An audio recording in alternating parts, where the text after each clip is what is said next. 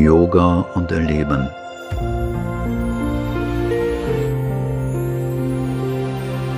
Ein Haus für den Herrn. Drittes Kapitel Das spirituelle Abenteuer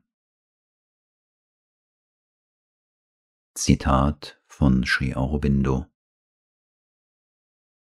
Das spirituelle Leben das religiöse Leben und das gewöhnliche menschliche Leben, zu dem die Moral gehört, sind drei grundverschiedene Dinge, und man muss wissen, was man will, und darf diese drei nicht miteinander verwechseln.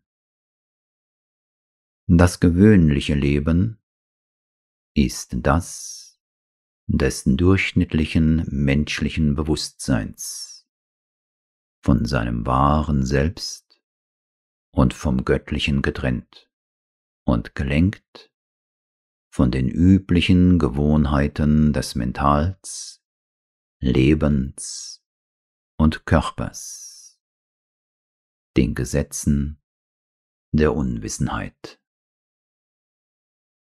Das religiöse Leben ist eine Bewegung des gleichen unwissenden menschlichen Bewusstseins, das sich von der Erde abwendet oder abzuwenden versucht, dem Göttlichen zu, doch bislang ohne Erkenntnis und gelenkt von den dogmatischen Lehren und Regeln einer Sekte oder eines Glaubensbekenntnisses, die Anspruch darauf erheben, den Weg aus den Banden des Erdbewusstseins in irgendein glückseliges Jenseits gefunden zu haben.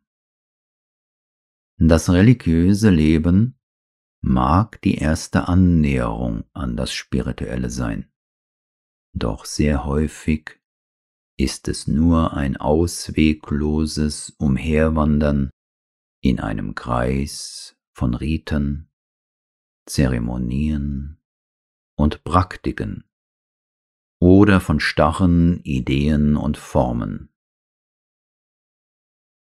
Das spirituelle Leben hingegen schreitet direkt durch eine Bewusstseinsveränderung fort eine Veränderung des gewöhnlichen Bewusstseins, das unwissend und von seinem wahren Selbst und Gott getrennt ist, in ein größeres Bewusstsein, in dem man sein wahres Wesen findet und mit dem Göttlichen zuerst in einen direkten und lebendigen Kontakt tritt und dann zu einer Einung mit ihm gelangt.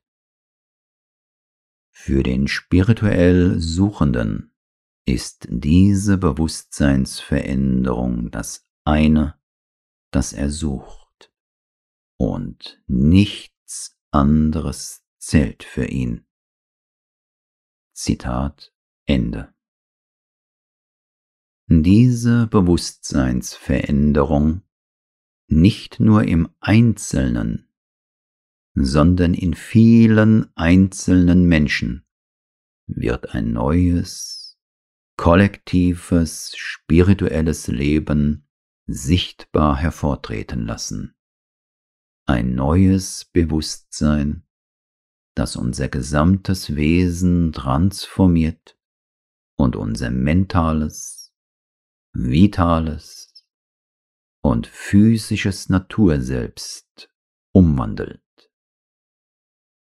Zitat Sri Aurobindos Nur eine solche Umwandlung der allgemeinen Natur von Mental, Leben und Körper kann ein neues, kollektives Dasein hervorbringen, das lebenswert ist.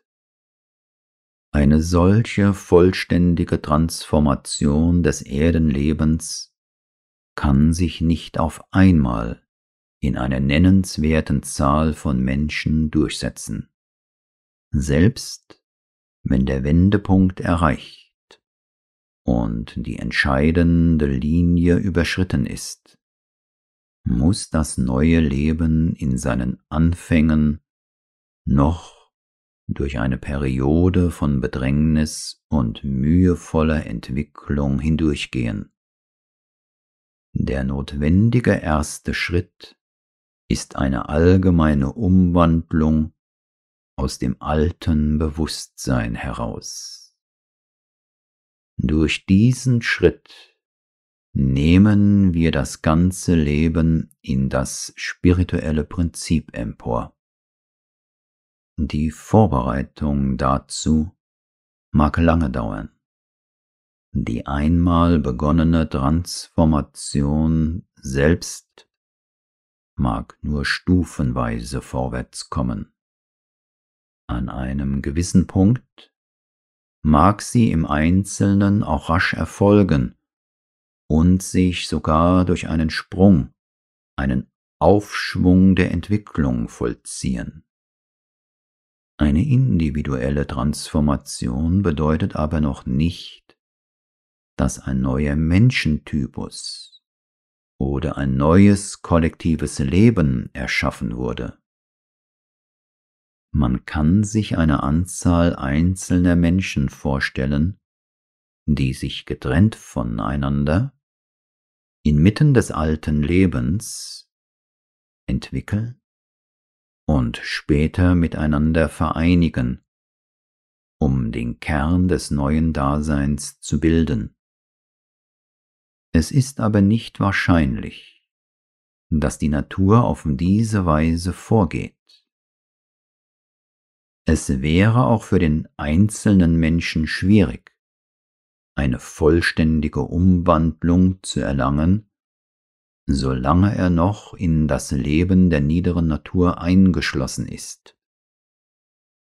Auf einer gewissen Stufe der Entwicklung mag es nötig sein, der uralten Methode zu folgen und sich in einer gesonderten Gemeinschaft zusammenzuschließen, in der doppelten Absicht, nur zuerst für sich eine gesicherte Atmosphäre zu schaffen, einen Ort und ein Leben, in dem sich das Bewusstsein des Einzelnen auf seine Entwicklung in einer Umgebung konzentrieren kann, in der alles auf dieses einzige Bemühen eingestellt und in ihm zentriert ist. Es mag sein, dass ich bei einer solchen Konzentration des Bemühens alle Schwierigkeiten der Umwandlung mit gesammelter Kraft einstellen.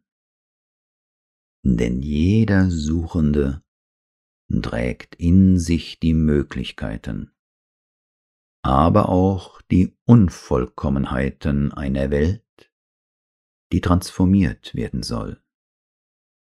Somit bringt er nicht nur seine positiven Fähigkeiten mit, sondern auch seine Schwierigkeiten und die Widerstände seiner alten Natur.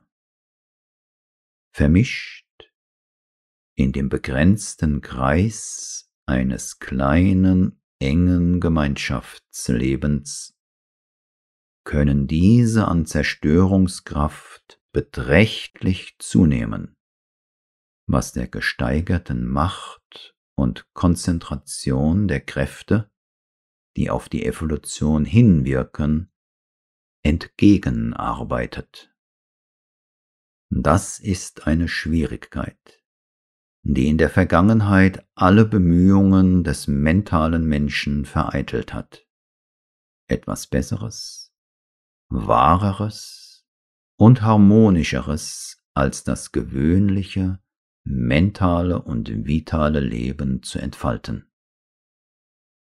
Wenn aber die Natur bereit ist, wenn sie die Entscheidung für die Evolution getroffen hat, wenn die aus den höheren Ebenen herabkommende Macht des Geistes stark genug ist, wird diese Schwierigkeit überwunden und eine erste Gestaltung oder Gestaltungen dieser Evolution möglich. Zitat Ende. Wenn man sich für den integralen Yoga Sri Aurobindos und der Mutter berufen fühlt, kann ein Rückzug in die innere oder äußere Einsamkeit für den Sadak nur ein vorübergehender Prozess sein, wie Sri Aurobindo es in seinem Werk Die Synthese des Yoga sagt. Zitat für den Sadaka des integralen Yoga können diese innere oder äußere Abgeschiedenheit nur vorübergehende Ereignisse oder Perioden in seinem spirituellen Fortschritt sein. Da er das Leben akzeptiert, muss er nicht nur seine eigene Last, sondern auch einen großen Teil der Last der Welt mittragen, als Fortsatz seiner eigenen ausreichend schweren Last. Deshalb hat sein Yoga viel mehr als andere den Charakter einer Schlacht. Aber es handelt sich nicht nur um eine individuelle Schlacht, sondern einen kollektiven Krieg, der sich über ein beträchtliches Land erstreckt. Er muss nicht nur in sich selbst die Kräfte egoistischer Falschheit und Unordnung besiegen, sondern sie als Vertreter derselben entgegengesetzten und unerschöpflichen Kräfte in der Welt besiegen. Ihr repräsentativer Charakter verleiht ihnen eine viel hartnäckigere Widerstandskraft, ein nahezu unaufhörliches Wiedererstehungsrecht. Oft stellt er fest, dass er zwar seine eigene persönliche Schlacht nachhaltig gewonnen hat, zugleich aber immer und immer wieder in einem scheinbar nicht enden wollenden Krieg gewinnen muss, weil seine innere Existenz bereits so sehr erweitert ist, da sie nicht nur sein eigenes Wesen mit seinen wohl definierten Notwendigkeiten und Erfahrungen einschließt, sondern sich in Solidarität mit dem Wesen anderer befindet, da er in sich selbst das Universum trägt. Zitat Ende.